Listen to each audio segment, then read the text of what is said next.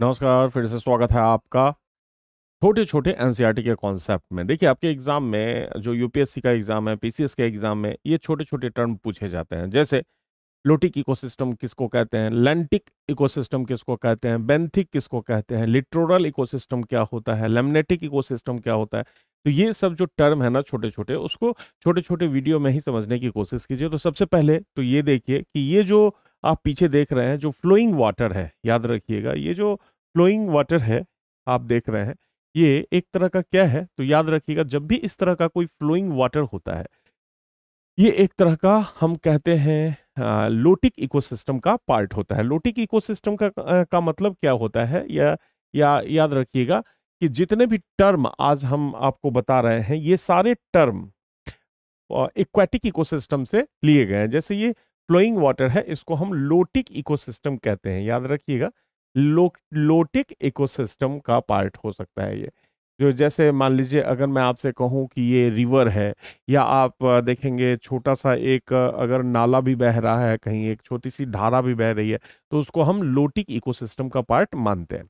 उसी तरह से अगर मैं आपसे कहूँ कि ये पानी स्थिर हो जाएगा, अगर मैं आपसे कहूँ कि ये ये पानी इस तरह से तालाब बन जाएगा, झील बन जाएगा तो ये लेंटिक इकोसिस्टम का पार्ट हो जाएगा। लेंटिक सिस्टम का मतलब होता है कि पानी रुका हुआ है, स्टैगनेंसी है। तो पानी जब भी रुका हो तो उसको हम लेंटिक इकोसिस्टम कहेंगे। जैसे स्टैंडिंग वाटर का मतलब हो गया लेक्स है, पॉन्ड्स है, वेटलैंड है, मार्सेस है, स्वैम्प्स हैं बॉक्स हैं, बहुत सारे गड्ढे होते हैं, वहाँ भी इकोसिस्टम का निर्माण हो जाता है तो ये सब लेंटिक इकोसिस्टम का पार्ट होता है। अब सवाल है कि लिटोरल इकोसिस्टम किसको कहते हैं या फिर बेंथिक इकोसिस्टम किसको कहते हैं? जरा देखिए, सबसे पहले अगर मैं बात करूँ किसी भी झील में या समुद्र में या फिर कोई ऐसा पानी है जो रुका हुआ पानी है, उसमें अगर मैं कहूँ जो किनारे वाले पार्ट्स हैं, यहाँ किनारा का मतलब होता है जो सबसे किनारा यहाँ पे फोटोस्फेरिक जोन है और सनलाइट नीचे तक आ रहा है। तो जो कोस्टल रीजन में अगर कोई इकोसिस्टम डेवलप्ड हो गया है, अगर इकोसिस्टम यहाँ पे डेवलप्ड हुआ है, इसको हम कहेंगे लिटोरल इकोसिस्टम यानी ये लिटोरल जोन कहलाता है और इसको हम लिटोरल इकोसिस्टम मानते हैं। लिटोरल इकोसिस्टम का पार्ट्स मानते हैं। लेकिन याद रखिएगा, जब ये लिटोरल इकोसिस्टम जो खास करके आप देखेंगे समुद्र के अपटट एरिया में डेवलप्ड होता है अपटट का मतलब है ऑफ़ रीजन या उसको कॉन्टिनेंटल सेल्फ रीजन कहते हैं। दूसरा आप देखेंगे, जैसे वेल है, सार्क है, ये सब कॉन्टिनेंटल सेल्फ से या ऑफशोर एरिया से दूर भी डेवलप्ड हो जाते हैं। जैसे मान लीजिए कि ये एरिया जैसे मैं कहूँ कि ये किनारे वाले पार्ट्स में नहीं और कोई मछली यहाँ रह रही है, या बहुत बड़ी फ़िश है जो यहाँ पे रह रही है। सपोज़ कीजिए ये फ़िश यहाँ पे रह रही है, या वेल है, या सार्क है, ये ये बीच समुद्र में रह रही है। लेकिन एक ऐसे क्षेत्र में जो ऊपर वाला ही क्षेत्र है सपोज़ कीजिए समुद्र के ही क्षेत्र में है लेकिन बहुत झील के ही क्षेत्र में है या छोटे से सी के क्षेत्र में है लेकिन किनारे पे नहीं है ये बहुत दूर में है कोस्ट से बहुत दूर में है लेकिन ये सनलाइट वाला जोन है।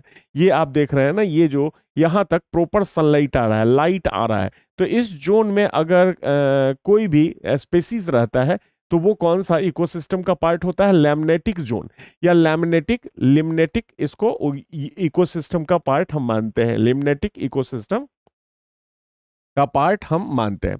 दूसरा, अगर मैं आपसे कहूँ कि कोई ऐसा इकोसिस्टम है जो नीचे है, जैसे जैसे मैंने आपको कहा कि इसी में समझिए, जैसे तालाब या झील में समझिए, ये जो किनारा है, ये तो आप समझ रहे हैं दिस इज़ लिटोरल जोन या लिटोरल इकोसिस्टम का पार्ट हो गया, जो किनारा है जहाँ तक सनलाइट आ रहा है। लेकिन अगर किनारे से हटके चला गया तो ये लिमनेटिक जोन में चला गया, जहाँ प्रॉपर सनलाइट आ रहा है। देख रहे हैं ना, यहाँ तक प्रॉपर सनलाइट आ रहा है। अब अगर मैं कहूँ कि कोई ऐसा स्पेसीज है, जो बहुत गहराई में चला गया, उसको हम बेंथिक स्पेसीज कहते हैं, या बेंथिक इकोसिस्टम का पार्ट उसको मानते हैं। तो ये सारे इकोसिस्टम, ये जो है, एक्वाटिक इकोसिस्टम के टर्म है। एक्वाटिक का मतलब होता है जो वाटर में रहने वाले जीव जंतु हैं, वो एक तरह का इकोसिस्टम डेवलप कर लेते हैं। समझ गए? तो ये एक जोन है पर्टिकुलर खास करके, जिसको आपको समझना पड़ेगा और वहीं पे इंट्रैक्शन होता है।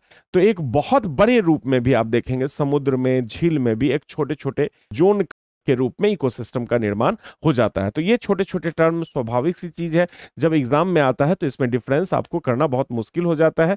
और याद रखिएगा, ये टर्म जो छोटा छोटा है, अगर समझ लेंगे तो एग्ज़ाम में भी आपका इजी हो जाएगा, उसको आंसर देना कि ये दोनों में डिफरेंस क्या है, चारों में डिफरेंस क्या है, पाँचों में डिफरेंस क्या है, जो मैं आज टर्म आपको दे रहा हूँ।